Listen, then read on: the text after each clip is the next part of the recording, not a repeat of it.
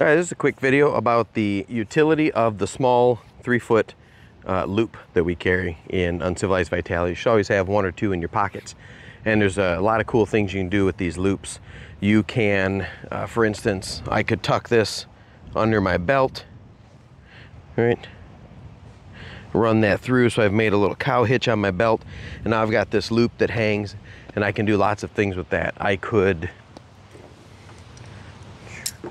I could hang my water bottle from a carabiner and clip it onto that.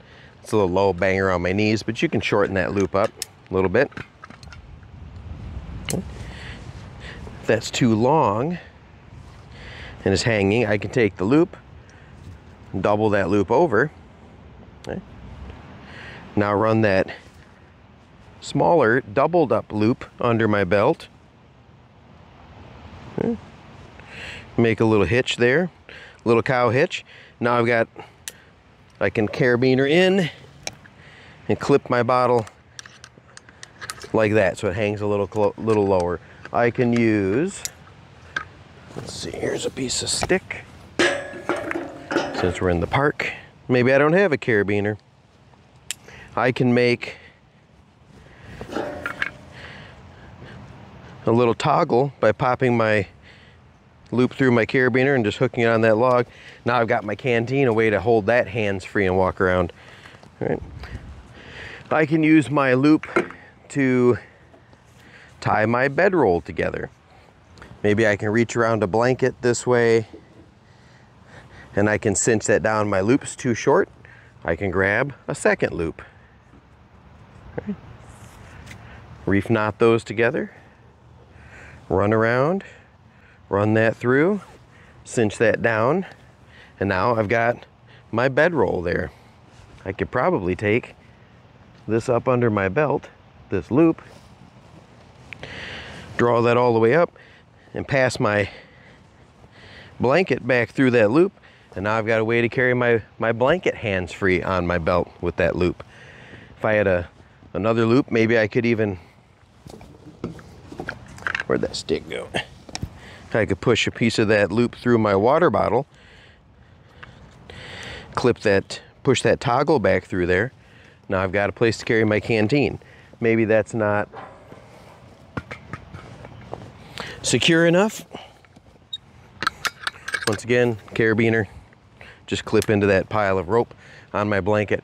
And now I've secured things to my belt with my little pocket loop. See what other uses for the pocket loop that you can come up with.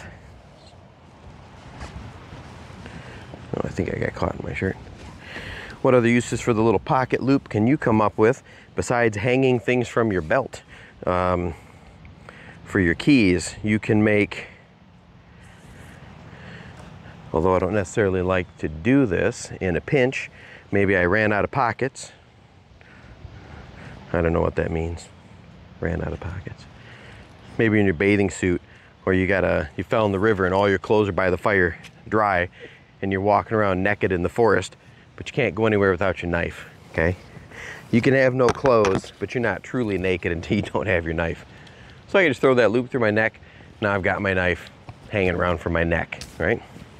So you can use that loop with a simple girth hitch okay, or cow hitch to hang lots of things let's look at that knot that I just used a little closer. Okay. So here's your loop. Okay. I can put my thumb and finger through it, reach down, and fold that part over.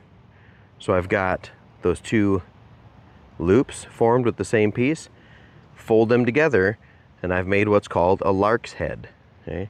A lark's head is not necessarily a knot because it's not a stopper at the end of the line and it's not necessarily a bend or a bind. Uh, the lark's head is just the lark's head. It's more of a formation in the rope. With the lark's head, I can put that around something like my finger or a carabiner uh, or anything, and now I've formed a cow hitch.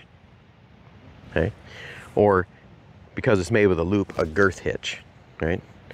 You can. Uh, there's lots of varieties on that.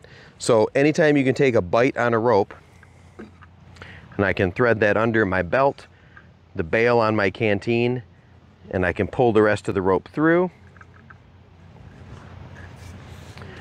Then I've attached my loop to my to my canteen and I've got a lanyard. I can take a loop and attach it to my knife the same way. Push a bite through, pull the rest of the cordage through that bite, tighten it up, and I've attached it to my the uh, the object. Another thing you can do is push the bite through and then wrap it around the object and you've had the same same effect, same outcome. So you've wrapped that loop around there. I can make the lark's head in my loop and then take something like a carabiner or a toggle and pass that through. Same effect. This is a great knot to know. Uh, the lark's head, technically not a knot, the lark's head and a loop and you can come up with almost no end of uses. I can make a lark's head and go around this little stick I found here in the park and now I've made a toggle and I can use that toggle for all sorts of things. I could pass, let me take this other one off. I could pass this toggle, just push the line through the bail on my canteen and because that toggle's attached to the rope, now I've got something to hang my canteen from.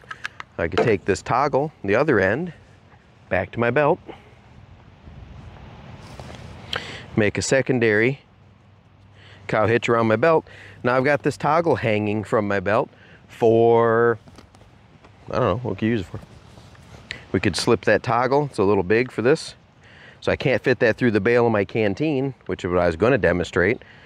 What I can do though, is push the line through the bail and then the toggle through that bend in the line and now I've attached my canteen to myself. Okay, when I want a drink, just unscrew that, take a drink. The lid's attached to me, it never goes on the ground so I don't lose it. And I've done that with the toggle that we just found. Okay. Um, what are some other things that you can do with a loop and a lark's head, girth hitch, cow hitch, uh, the ways to attach it. So leave those in the comments below. What are some ways that you can come up with to use a small loop of paracord that you carry in your pocket every day. Three feet's a good uh, length to make these loops out of because you can fold it down and get a smaller loop. You can simply loop that around your neck. Uh, it's big enough, but not uh, big enough to go over your head, but not so long that it would get caught on things if it's tucked away. Okay. Another thing you can do, it just keeps occurring to me, uh, is the knot where they're joined together. I just did a fisherman's bend there, two, uh, two double overhands drawn together. I have videos on that. At the other end, the bite, I can make my, uh, my lark's head. So I've got that right around my thumb. And instead, I slip the knot through there and tighten up on the rope. And now I've made what's commonly referred to as a soft shackle, that a way you can lock that down around something, right? So I made the girth hitch around my belt earlier, but I could tuck that, that rope up behind my belt, take both ends, make a small lark's head in this end of the rope, tuck the knot through, or maybe even a toggle, tighten that down, and now I've got a little soft shackle, almost like a soft carabiner on my belt. Right?